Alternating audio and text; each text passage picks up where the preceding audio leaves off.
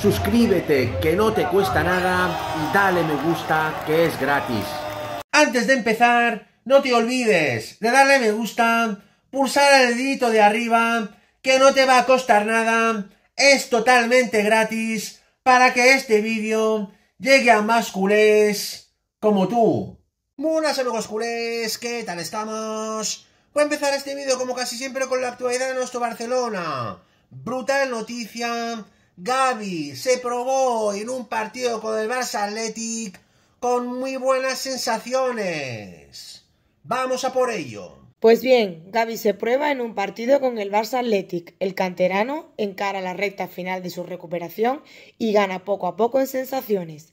Gaby se rompió con la selección española durante el parón internacional del mes de noviembre del 2023, hace ya casi un año fue durante un partido en trascendente ante Georgia en el que Luis de la Fuente no consideró bien que descansara. La grave lesión de rodilla lo obligó a pasar por quirófano y a partir de entonces iniciar un largo camino para volver a jugar. El camino está llegando a su fin y poco a poco el futbolista va dando pasos muy importantes de cara a vestirse de corto y volver a competir. Flick está encantado con lo que ve en cada entrenamiento y se muere de ganas de poder contar con él sobre el césped. Está convencido de que su equipo será aún más poderoso de lo que ya está demostrando. Jugó junto a De Jong, no hay fecha de regreso y en ese sentido una de las condiciones que se marcaron es no forzar ninguna fecha para regresar. Todo apunta a que lo hará con total normalidad cuando se cumple el año desde la lesión, aunque irá entrando de forma lenta y progresiva. Pero el jugador sigue dando pasos muy importantes y este miércoles por la mañana ha podido probarse, según explica un medio deportivo culé, en un partido de entrenamiento disputado de forma conjunta con el Barça Athletic y con los futbolistas que no han sido convocados por sus selecciones. El partidillo, según esta misma información, ha durado media parte, 45 minutos. Gaby ha destacado en el aspecto físico y ha formado junto a Frenkie de Jong en el centro campo. El de los Palacios se muere de ganas de volver a jugar. Ojito que varias fuentes cercanas al club afirman que incluso Gaby puede ser convocado para el próximo partido que tenemos contra el Sevilla. Seguimos con la actualidad de nuestro Barcelona. Bendito problema para el Barça de Hansi Flick o no. Vamos a por ello. Pues bien, problemón para Hansi Flick. Con el regreso de Dani Olmo y Fermín López tras el parón y el cercano de Gaby, el técnico alemán tendrá a muchos jugadores en el centro del campo para solo tres puestos.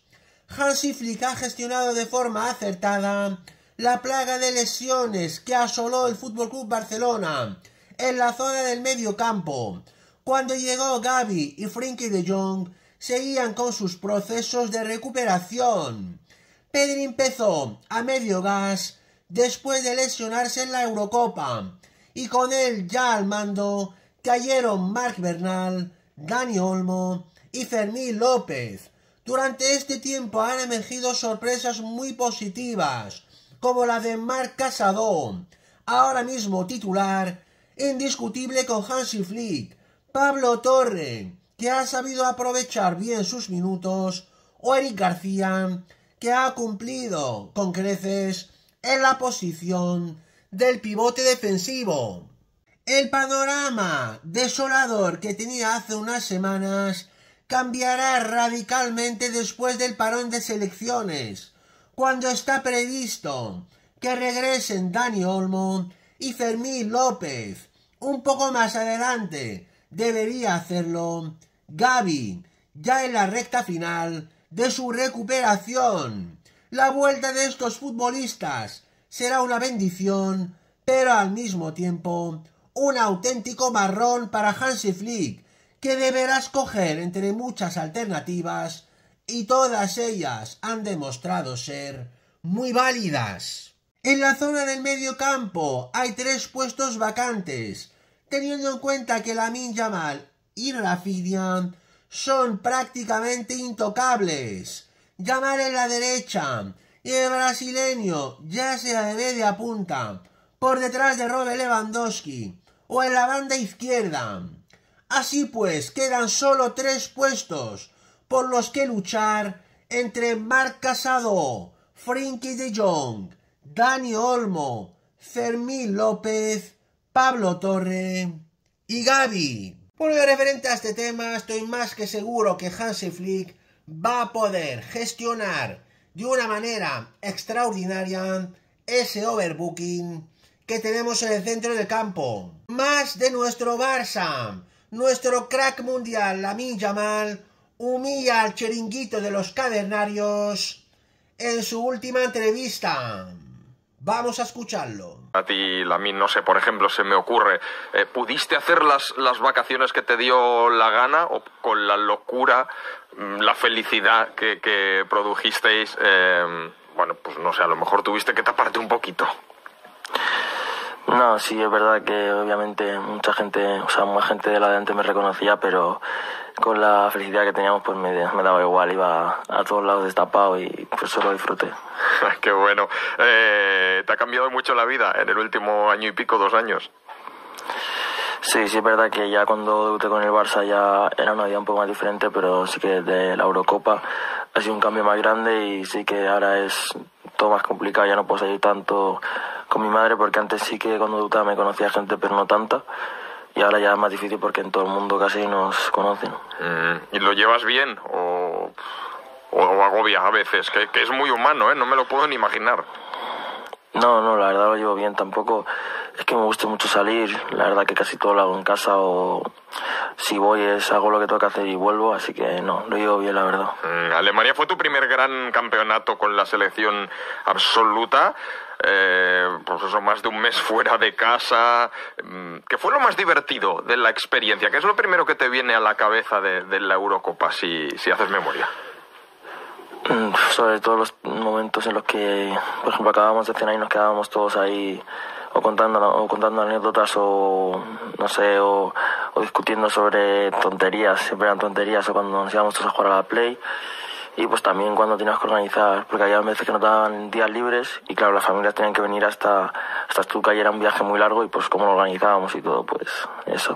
Y lo más rollo, si es que hubo algo rollo, porque claro, tú lo has dicho, estás haciendo un, algo que para ti era un sueño de más joven.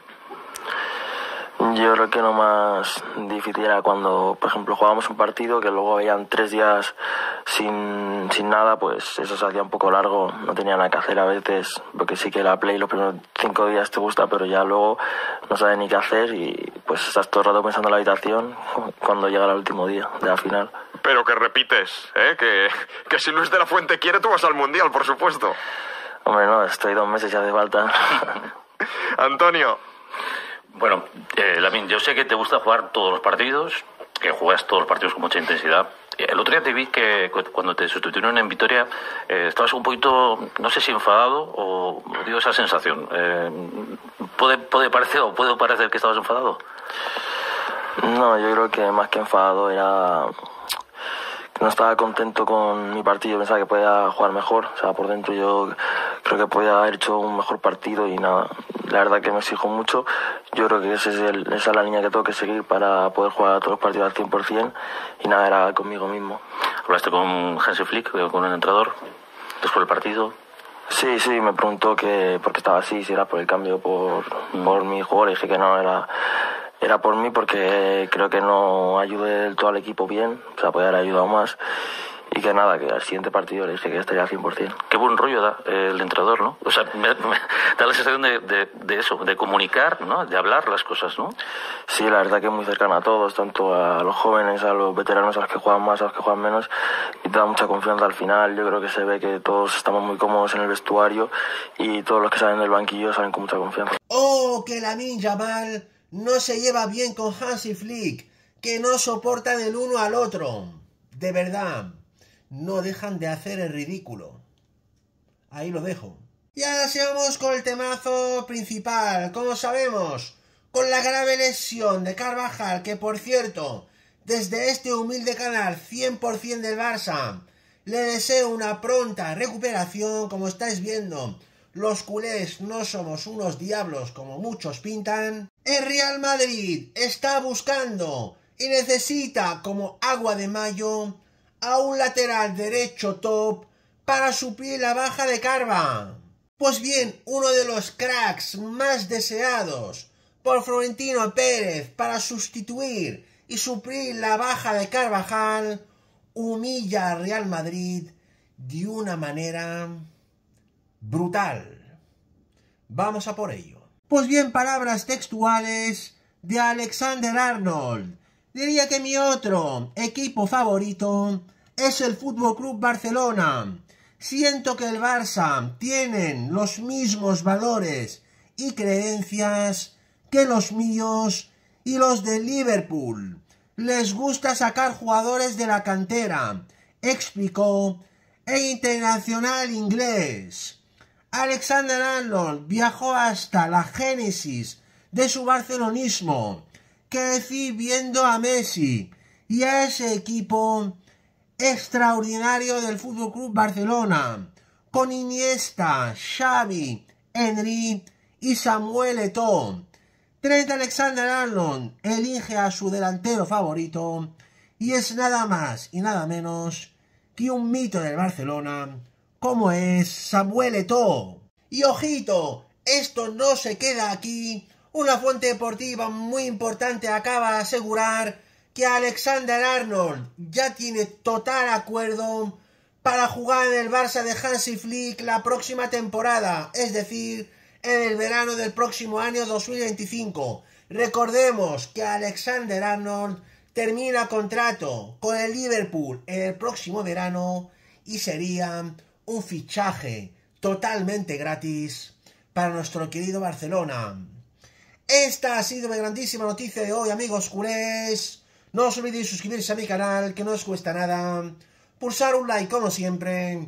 Y dejarme comentarios para cambiar opiniones.